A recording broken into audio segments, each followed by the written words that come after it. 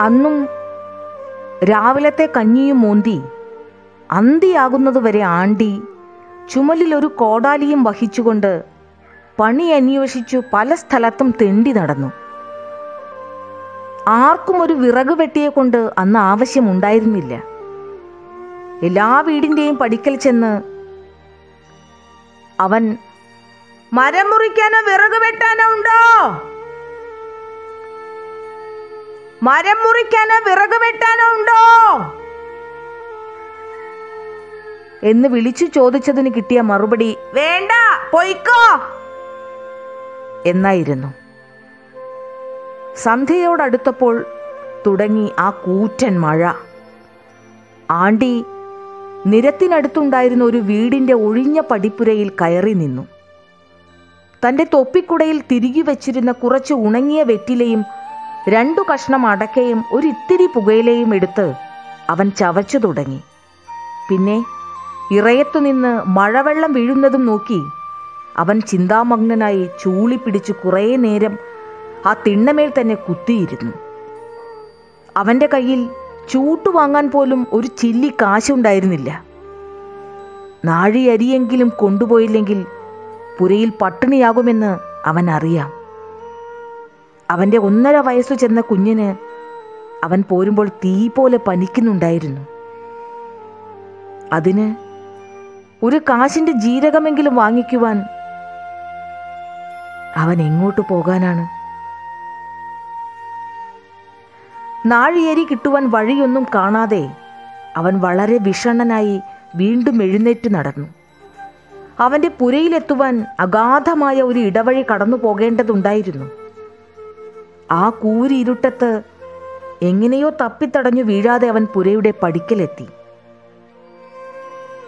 ഉടനെ അകത്തുനിന്ന് ആരോ സംസാരിക്കുന്നത് പോലെ അവന് തോന്നി. കോലായിൽ വിളക്കും വെളിച്ചവും ഒന്നും ഉണ്ടായിരുന്നില്ല. അവൻ പതുക്കെ കോലായിലേക്ക് പതുങ്ങി ചെന്നു. അകത്തേക്ക് നോക്കിയപ്പോൾ അന്ധകാരം. അയ്യോ നിങ്ങൾ ഇനി വേഗം ഇവിടുന്ന് പോണം. കുഞ്ഞിന്റെ അച്ഛൻ വരാറായി. പോടി. ആണ്ടി വരുമ്പോൾ ചൂട്ടുണ്ടാകും. ഞാൻ ഒന്നും കൂടി അയ്യോ വേണ്ട വേണ്ട. ആ എന്നാ ഞാൻ പോകുന്നു. നിനക്ക് വല്ലതും ഇനി ആവശ്യമുണ്ടെങ്കിൽ എന്റെ അടുക്കിലേക്ക് ആരെങ്കിലും പറഞ്ഞയച്ചാൽ മതി കേട്ടോ. എനിക്കിനി ഒന്നും വേണ്ട. നിങ്ങൾ പോയാ മതി. ഇപ്പൊ പെണ്ണ് പോകാൻ പറയുന്നു. നിന്റെ കൊഞ്ചിക്കുഴയിൽ കണ്ടിട്ടല്ലേടി ഞാൻ ഇങ്ങോട്ട് കയറി വന്നത്? ഒരു ചുംബനത്തിന്റെ സീൽക്കാരം ഹേയ് വിടൂ. വിടൂ കുഞ്ഞു കരയുന്നു. വിടൂ. പെട്ടെന്ന് ഒരു തകരവിളക്ക് കത്തി. അതിന്റെ വെളിച്ചത്തിൽ സുകുമാരൻ വക്കീലിന്റെയും തന്റെ ഭാര്യ അമ്മുവിന്റെയും മുഖങ്ങൾ ആണ്ടി വ്യക്തമായി ദർശിച്ചു. ഇതെല്ലാം കേട്ടും കണ്ടും കൊണ്ട് അവൻ ഇടിയേറ്റതുപോലെ നിന്നുപോയി. അതൊന്നും അവന് വിശ്വസിക്കാൻ കഴിഞ്ഞില്ല. ഇതികർത്തവ്യ മൂഢനായി അവൻ ആ അന്ധകാരത്തെ മിഴിച്ചു നോക്കി. സുകുമാരൻ വക്കീൽ ഒരു വലിയ ജന്മിയും ധനികനുമാണ്. ആണ്ടി പാർക്കുന്ന പറമ്പും പുരയിടവും വക്കീലിന്റേതാണ്. മാത്രമല്ല പുരക്കൂലി വകയിലും കടം വായ്പ വകയിലും മറ്റും അൻപത് ഉറുപ്പികയോളം ആണ്ടി വക്കീലിന് കൊടുക്കാനുമുണ്ട് ഇതൊന്നും കൂടാതെ ഇരുപത്തഞ്ച് ഉറുപ്പികയുടെ ഒരു പ്രോനോട്ടും അവൻ എഴുതി കൊടുത്തത് വക്കീലിന്റെ കൈവശമുണ്ട്. അതുകൊണ്ട് വക്കീലിനോട് ഇടഞ്ഞാലുള്ള അനുഭവവും അനന്തരഫലവും അവന് നല്ലപോലെ അറിയാം. പക്ഷേ വക്കീൽ ഇങ്ങനെയുള്ള ഒരാളാണെന്ന് അവൻ കരുതിയിരുന്നില്ല. വക്കീൽ മുറിയിൽ നിന്നും പുറത്തേക്ക് പോകാൻ ഭാവിക്കുന്നത് കണ്ട് ആണ്ടി പതുക്കെ പുരയുടെ പടിഞ്ഞാറ് ഭാഗത്തേക്ക് മാറി നിന്നു. വൈദ്യുത ടോർച്ച് മിന്നിച്ചുകൊണ്ട് വക്കീൽ പടി ഇറങ്ങിപ്പോയി ആണ്ടി ചുമരും പിടിച്ചുകൊണ്ട് ആ ഇരുട്ടിൽ തന്നെ കുറേ നേരം നിന്നു. അരമണിക്കൂർ കഴിഞ്ഞതിന് ശേഷം അവൻ കോലായിലേക്ക് ചെന്ന് പതിവ് പോലെ എടി വാതിൽ തുറക്ക്. എടി വാതിൽ തുറക്ക്. എന്ന് വിളിച്ചു. അമ്മു വാതിൽ തുറന്ന് തകരവിളക്കുമായി പുറത്തേക്ക് വന്നു. അവൾ ആണ്ടിയെ നല്ലപോലെ ഒന്ന് സൂക്ഷിച്ചു നോക്കിയതിനു ശേഷം ചോദിച്ചു ഒന്നും കൊണ്ടുവന്നിട്ടില്ലേ? യാതൊരു ഭാവഭേദവും പ്രദർശിപ്പിക്കാതെ ആണ്ടി പറഞ്ഞു ഒന്നും കിട്ടിയിട്ടില്ല. ഇവിടെ ഒന്നും വെച്ച് കാച്ചിട്ടില്ല കുഞ്ഞു പനിച്ച് ബോധമില്ലാതെ കിടക്കുന്നു. ഞാൻ എന്ത് ചെയ്യും? എനിക്കൊരൊറ്റ കാശ് കിട്ടിയിട്ടില്ല. രണ്ടുപേരും കുറേ നേരത്തേക്ക് മിണ്ടാതെ നിന്നു. പിന്നെ അമ്മു അകത്തേക്ക് പോയി കുറച്ചു കഴിഞ്ഞതിന് ശേഷം അവൾ കോലായിലേക്ക് വന്ന് ഒരു ഉറുപ്പിക നാണ്യം ആണ്ടിയുടെ നേർക്ക് വെച്ചു കാണിച്ചുകൊണ്ട് പറഞ്ഞു ഇത് കൊണ്ടുപോയി കുറെ അരിയും കറിസാമാനവും കുഞ്ഞിനു മരുന്നും വാങ്ങിക്കണം. ആണ്ടിയുടെ മുഖപ്രകൃതി കുറേശ്ശെ മാറിത്തുടങ്ങി. അവൻ ആ വെള്ളി നാണയത്തെ കുറച്ചു നേരം സൂക്ഷിച്ചു നോക്കി. പിന്നെ അമ്മുവിന്റെ മുഖത്തേക്ക് തുറച്ചു നോക്കിക്കൊണ്ട് അവൻ ചോദിച്ചു ഇത് നിനക്ക് എവിടുന്ന് കിട്ടി? അവൾ തെല്ലുനേരം പരുങ്ങി നിന്നു. പിന്നെ പറഞ്ഞു ഞാൻ കല്യാണിയമ്മയുടെ കൂടെ ആഴ്ചക്കുറി വെച്ചിട്ട് കിട്ടിയതാണ്. ആദ്യത്തെ നറുക്ക് എനിക്കാണ് കിട്ടിയത്. കല്യാണിയമ്മ എന്നാണ് നിനക്ക് പണം തന്നത്? ഇന്ന് രാവിലെ ആണ്ടിയുടെ മുഖം ചെകുത്താന്റേതുപോലെയായി എന്തടി പറഞ്ഞു? ഇന്ന് രാവിലെയോ? ഹ കള്ളത്തി. കല്യാണിയമ്മ ഇന്നലെ വൈകുന്നേരം തിരൂരിലേക്ക് പോകുന്നത് ഞാൻ കണ്ടിട്ടില്ലേ? നിന്റെ കള്ളിയെല്ലാം എനിക്ക് അറിഞ്ഞൂടെ നിനക്കിതാ വക്കീൽ തന്നതല്ലേ? കുറച്ചു നേരത്തെ നീയും വക്കീലും കൂടി ഈ മുറിയിൽ വെച്ച്. അമ്മുവിന്റെ മുഖം വെള്ള വലിച്ച ചുമരുപോലെയായി. അവൾ പിന്നോക്കം വീഴാൻ ഭാവിച്ചതും ആണ്ടി അവളുടെ വാരിഭാഗത്ത് ഒരടി അടിച്ചതും ഒന്നിച്ചു കഴിഞ്ഞു. അവൾ ഉമ്മറപ്പടിമേൽ മറിഞ്ഞു വീണു.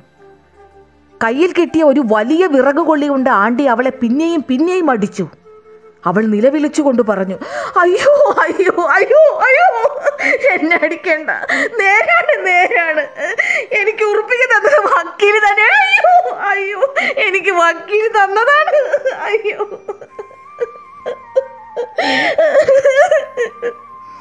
ആണ്ടി അലറിക്കൊണ്ട് ചോദിച്ചു എന്തിനടി നീ വക്കീലിനെ വീട്ടിൽ കയറ്റാൻ ഉറുപ്പി വാങ്ങിക്കാൻ പോയത്? അയ്യോ അയ്യോ. പൈപ്പ് പുറത്തു കൂടാഞ്ഞിട്ട്. അയ്യോ അടിക്കല്ലേ പനിച്ചു കിടക്കുന്ന കുഞ്ഞിന് നാഴി കുറിയ വാങ്ങിച്ച് കഞ്ഞി വെച്ച് കൊടുക്കാനാ. അയ്യോ അടിക്കല്ലേ അയ്യോ. അതിനാണ് വക്കീൽ ഇവിടെ ഉച്ചയ്ക്ക് പറമ്പ് നോക്കാൻ വന്നപ്പോ ഞാൻ എട്ടണ ചോദിച്ചത്. അയ്യോ അടിക്കില്ല അയ്യോ. എന്നിട്ടോ? വക്കീൽ രണ്ടുറുപ്പിക്ക് തന്നു.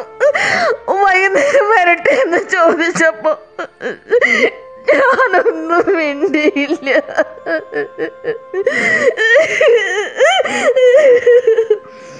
നീയൊന്നും മിണ്ടിയില്ല. അല്ലടേ? ഒന്നും മിണ്ടിയില്ല. ആണ്ടി അമ്മുവെ കോപം സഹിക്കാതെ പിന്നെയും പിന്നെയും അടിച്ചു. അവൾ വേദന സഹിക്കാതെ ഉറക്ക നിലവിളിച്ചു. അയ്യോ അയ്യോ അടിക്കല്ലേ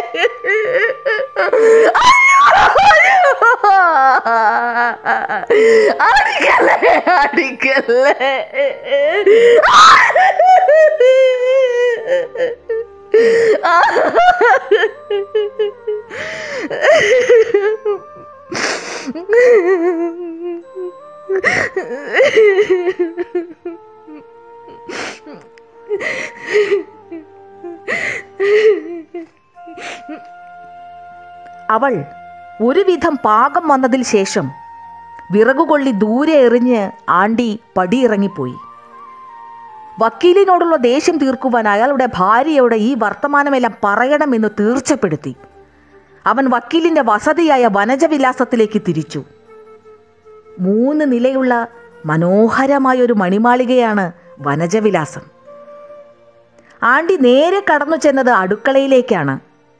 വെപ്പുകാരൻ ഗോവിന്ദൻ നായരെ കണ്ടു പറഞ്ഞ് വക്കീലിന്റെ ഭാര്യയായ മീനാക്ഷിക്കുട്ടിയമ്മയെ വിളിപ്പിക്കാമെന്നാണ് അവൻ കരുതിയിരുന്നത്. പക്ഷേ അടുക്കള പൂട്ടിയിരുന്നു. ഗോവിന്ദൻ നായർ അവിടെ എങ്ങും കണ്ടതുമില്ല. വക്കീൽ അവിടെ വന്നു ചേർന്ന യാതൊരു ലക്ഷണവുമില്ലായിരുന്നു. വീടിന്റെ പടിഞ്ഞാറ് ഭാഗത്തുകൂടി അവൻ നേരെ തെക്കോട്ട് നടന്നു. രണ്ടാമത്തെ മുറിയിൽ നിന്ന് ആരോ സംസാരിക്കുന്നതായിട്ട് അവന് തോന്നി. അടച്ചിട്ടിരുന്ന ജനവാതിലിന്റെ നേരിയ വിടവിൽ കൂടി അവൻ അകത്തേക്ക് എത്തി നോക്കി. അകത്ത് ഒരു ടേബിൾ ലാമ്പ് മങ്ങി കത്തിക്കൊണ്ടിരുന്നു. ധവളസുന്ദരമായ ഒരു വെൽവെറ്റ് മെത്തമേൽ മുക്കാലും നഗ്നയായി മീനാക്ഷിക്കുട്ടിയമ്മ ശയിച്ചിരുന്നു. അരികെ തന്നെ ഗോവിന്ദൻ നായരും ഇരിക്കുന്നുണ്ടായിരുന്നു. കാമസമ്മർദ്ദമേറ്റ ഒരു പുഞ്ചിരിയോടുകൂടി ഗോവിന്ദൻ നായരുടെ കവിളിൽ നുള്ളിക്കൊണ്ട് മീനാക്ഷിക്കുട്ടിയമ്മ പറഞ്ഞു. ഗോവിന്ദ യജമാനൻ മാസപ്പടി കുറയ്ക്കുമെന്ന് പറഞ്ഞതുകൊണ്ടൊന്നും നീ പോകണ്ട. നിനക്ക് എന്ത് വേണം? സിൽക്ക് ഷർട്ട് വേണോ? വേഷ്ടി വേണോ? സിനിമ കാണാനും മറ്റും പണം വേണോ? എല്ലാം ഞാൻ തരാം. പിന്നെ എന്തിനാണ് നാട്ടിലേക്ക് പോകുന്നത്? അവൾ അവനെ ഗാഠമായി ആലിംഗനം ചെയ്തു. വിളക്കണച്ചു. പിന്നീട് നടന്നതൊന്നും ആണ്ടിക്ക് കാണാൻ കഴിഞ്ഞില്ല. ആണ്ടി തിരിഞ്ഞ് വീട്ടിലേക്ക് തന്നെ നടന്നു. പല ചിന്തകളും സന്ദേഹങ്ങളും അവനെ വഴിനീളെ വ്യാകുലപ്പെടുത്തി. തന്റെ ഭാര്യ വ്യഭിചരിച്ചത് പട്ടിണി നീക്കാൻ വേണ്ടിയാണെന്ന് അവന് മനസ്സിലായി. പക്ഷേ എത്ര തന്നെ ആലോചിച്ചിട്ടും ഈ മുപ്പത്തഞ്ചു വയസ്സായ മീനാക്ഷിക്കുട്ടിയമ്മ പതിനെട്ട് വയസ്സായ വെപ്പുകാരൻ നായരുമായി വ്യഭിചരിക്കുന്നതിന്റെ കാരണം അവന് കണ്ടുപിടിക്കാൻ കഴിഞ്ഞില്ല. ഒടുവിൽ ആണ്ടി തീർച്ചപ്പെടുത്തി. ഈ തറവാടിയും യോഗ്യനും ധനവാനുമായ വക്കീലിന്റെ ഭാര്യയേക്കാൾ നല്ലത് എന്റെ പെണ്ണ് അമ്മു തന്നെയാണ്. ആണ്ടി പുരയിലേക്ക് കയറി ചെല്ലുമ്പോൾ അമ്മു അർദ്ധപ്രജ്ഞയോടെ അവിടെ തന്നെ കിടക്കുന്നുണ്ടായിരുന്നു. അവൻ ആ തകരവിളക്കെടുത്ത് മുറി മുഴുവൻ തിരഞ്ഞു. ആ ഉറുപ്പിക ഒരു മൂലയിൽ തെറിച്ചു കിടന്നിരുന്നു. അത് കയ്യിലാക്കിക്കൊണ്ട് അവൻ അവളെ വിളിച്ചു. എടി അമ്മു എണി. ആ വട്ടിയും കുപ്പിയും ഇങ്ങെടുക്ക്. ഒരു ചൂട്ടും കത്തിക്ക്. ഞാൻ വേഗം പോയി. അരിയും സാമാനവും കൊണ്ടുവരാം. അമ്മുവിന് ഒരു പുതിയ ജീവൻ വീണു. അവൾ എങ്ങനെയോ എഴുന്നേറ്റു. വട്ടിയും കുപ്പിയും എടുത്തു കൊടുത്തു. വേഗത്തിൽ ഒരു ചൂട്ടും കെട്ടി ഭർത്താവിനെ പീടികയിലേക്ക് പറഞ്ഞയച്ചു.